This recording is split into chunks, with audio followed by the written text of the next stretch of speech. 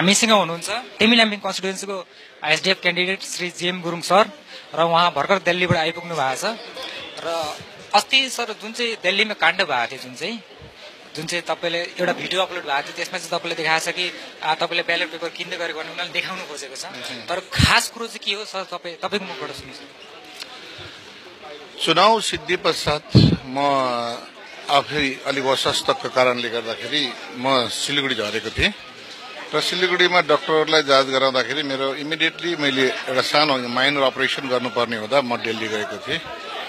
र अठार तारिकको दिन मैले गङ्गाराम हस्पिटलमा डक्टरसँग भेटेर मेरो उन्नाइस तारिकको दिन अपरेसनको डेट फिक्स गरेको थियो। तर अचानक बेलुकी साढे सात बजेतिर मलाई फोन आउँछ अपरिचित व्यक्तिबाट र भन्छ हामी सिक्किम इन्डियन रिजर्भ लाइनको भाइहरू हौ सरलाई भेट्न चाहन्छु भन्दाखेरि मैले भने अब आज त म बिजी छु। भोलि मेरो अपरेसन छ तर पनि अब हेरौँ भाइ कसो गर्छ भनेर मैले भन्दाखेरि होइन भेट्नै पर्छ। हामी छुट्टी मिलाएको भर्खर मिलाएको भन्ने कुरा गर्दाखेरि ठिकै छ आऊ न त। भन्दाखेरि फेरि म मेरो परम मित्र सुवेदीज्यूसँग डिनरमा जानुपर्ने मेरो टाइम हुन्छ र फेरि करिब साढे आठतिर आठ बजीतिर म डिनरमा निक्लिन्छु।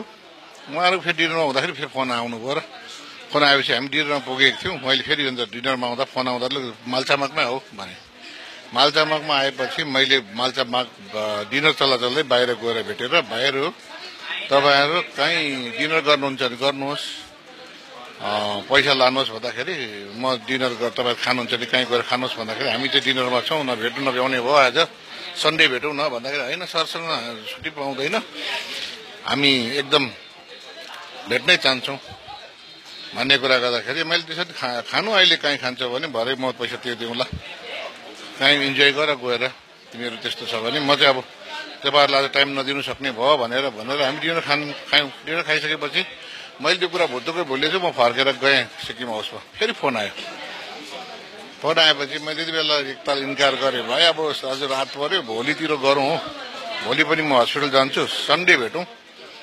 भन्दाखेरि भेट्नै पर्छ भेट्नै पर्छ भने अनि त म घरमा पुगेर लुगा सुगा कपडा फेरि चेन्ज गरिसकेको थिएँ। फर्केर गएर मैले सिक्किम हाउस भने त्यसरी आऊ त लु बाबुको खाना खाएको पैसाहरू पनि माग्छ कि के गर्छ भने तल गो जाँदा जाँदाखेरि चाहिँ उनीहरूसँग मेरो कुनै बात नभइकन चाहिँ फटाफट मलाई फोटो खिच्नु थाल्यो अब भिडियो फोटो फोटो खिच्नु थाल्दाखेरि चाहिँ मैले हेरिबसेँ सुनिबसेँ अनि उनीहरूले फोटो खिच्दा चाहिँ भन्नु थाल्यो कि एक मलाई हाम्रो ब्यालेट पेपर लिनु आएको।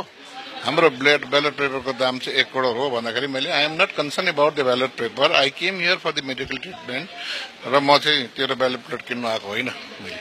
त्यति मात्रै भनिराखेर अनि I came back to my residence अब त्यो एउटा मलाई लाग्छ सरकारी कर्मचारीहरूलाई हाम्रो सिक्किमको युवा भाइहरूलाई युज गरेर गैर राजनीतिक गर्ने नेताहरूले सिक्किममा हाम्रो कर्मचारीहरूको यसरी उहाँहरूको नोकरीमाथि नोक्सान हुने काम गर्नु हुन्थेन। एक्चुअली त्यो भाइहरूलाई थाहा छैन। सर्भिस कोड अफ कन्डक्ट भनेको के हो कस्तो हुन्छ त्यो कुरा नजानिकन उहाँहरूले यस sir. Thank you thank you very much thank you thank you उहाँहरूले म माथि जुन प्रकारले फोटोग्राफी गर्यो साथै फोटोग्राफी गरेर भाइरल गर्दाखेरि उहाँहरूले यति पनि याद गरेन कि जिएम गुरुङ तिमी नाम्फिङ कन्स्टिट्युन्सीको एउटा प्रत्याशी मात्र होइन तर निवर्तमान केयरटेकर गभर्मेन्टको क्याबिनेट मिनिस्टर हो भन्ने पनि उहाँहरूलाई थाहा हुनु पर्थ्यो र मैले इमिडिएटली त्यति नै बेला आइआरबीको कमान्डेन्टहरूलाई चाहिँ फोन गरेँ। कि तिमीहरूको फोर्सको डिसिप्लिन चाहिँ के हो? यस्तै हो। यहाँ त अलिकति हेर है। मलाई त यिनीहरूले त राम्रो कुरा गरेन फोटोसोटो खिचेर लग्यो।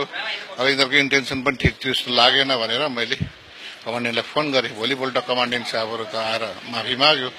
तर मैले भने ठिकै छ छोडिदियो। अब बिचरा इनोसेन्टहरू कसैले चम्काएर पठायो होला भनेको थियो। तर अहिले एसकेएम पार्टीले मेरो नाममा इलेक्सन कमिसन स्किमलाई केस गरेको छ भन्दाखेरि मैले केस गर्नै पर्छ।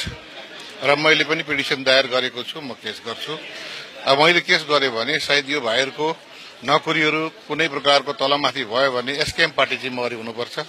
यो एसकेएम पार्टीले यो भाइहरूको भाग्य र भविष्यको जिम्मा लिनुपर्छ। किनभने मैले यसरी अन्याय गर्ने अत्याचार गर्ने अथवा यसरी शोषण दोहोर गर्न खोज्ने गुण्डागिरी गर्न खोज्ने दादागिरी गर्न खोज्ने हाम्रो सिक्किम जस्तो शान्त जग्गामा हामीले त्यसो गर्नु दिनु हुँदैन र दिल्ली हाम्रो हो भन्ने आवाज ठुल्ठुलो आवाजमा बोल्दै थियो। यो सिक्किम होइन पनि भन्दै थियो। हामी सिक्किमले नै त्यो आइआरबी भाइहरूलाई यति पनि थाहा छैन कि एसडिएफ पार्टीको कारणले गर्दा हामीले इन्डियन रिजर्भ बोर्डर लाइन खोलेका हौँ। सामान्य पार्टी अध्यक्ष महोदय तथा सिक्किम सरकारका माननीय मुख्यमन्त्री महोदयको दूरदर्शिताको कारणले यो इन्डियन रिजर्भ बोर्डर लाइन हामीले केन्द्र सरकारसँग मिलेर खोलेको। हाम्रो त्यही कारणले हाम्रो बहुत नानीहरूले काम पाएको छ तर हाम्रो नानीहरूलाई मिसगाइड गरेर गैर राजनीति गर्ने राजनीतिहरूले हाम्रो नानीहरूलाई बिगार्दैछ र अराजकता ल्याउने कोसिस गर्दैछ। यो ठुलो नोक्सानी कुरा हो यो ठुलो नराम्रो कुरा हो। जुन प्रकारले जुन प्रकारको जुन अहिले यो आउने सिपाहीहरूको अथवा नोकरीदार कर्मचारीहरूलाई जुन प्रकारले प्र्याक्टिसमा ल्याउँदैछ यो हेर्दाखेरि सिक्किमको अराजकता चाहिँ भविष्य राम्रो छ जस्तो मलाई लागेको छैन।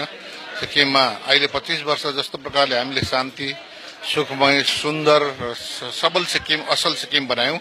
यो आउने भावी सिक्किमहरूको दुर्दशा हेर्दाखेरि त्यति राम्रो छ जस्तो मलाई लागेको छैन। यति नै हो हामी अवश्य सरकारमा आउँछौँ। हाम्रो भोट हामीले जितिसकेका छौँ। तर अब यो बिग्रेको मान्छेको भत्केको भर भत्केपछि के को डर भनेको छ? जहीँ तहीँ जता पाए त्यतै बाउलेको कुकुरले टोक्दै हिँड्दैछ।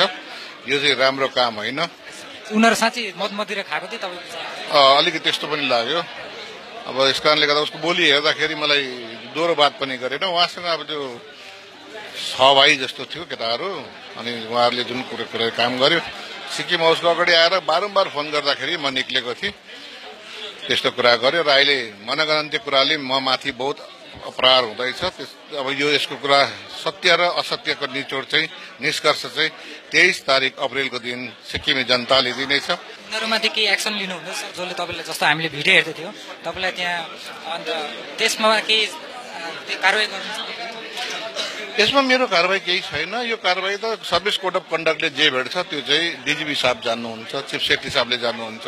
किनभने गभर्मेन्ट इम्प्लोइजले कति काम गर्नुपर्छ कति काम गर्नु हुँदैन त्यो त कुन कुन कुरा रेखाभित्र गभर्मेन्ट इम्प्लोइज कर्मचारीहरू बस्नुपर्छ त्यो त गभर्मेन्ट इम्प्लोइजलाई थाहा हुन्छ। सर्भिस कोड अफ कन्डक्टले जे भेट्छ त्यो त अवश्य लाग्छ।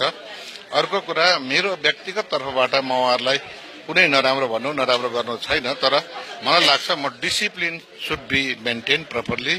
And every sun side प्रत्येक घामहरू झुल्किन्छ भने नयाँ कुराको लिएर झुल्किन्छ र प्रत्येक सनसाइन बस्छ बस्छ घाम आउँछ भने कुनै न कुनै एउटा वर्तमान र भविष्यलाई सोचेर जान्छ भने त्यस्तै प्रकारले यो एक प्रकारको आयुर्वेदको कुरा सुन्दाखेरि एसकेएम पार्टी एकदम त्यो हदमा पुगेको छ कि के गर्दैन म त क्या नै कर्ता भन्ने खालकोमा पुगेको जस्तो मैले बुझेँ। Thank you sir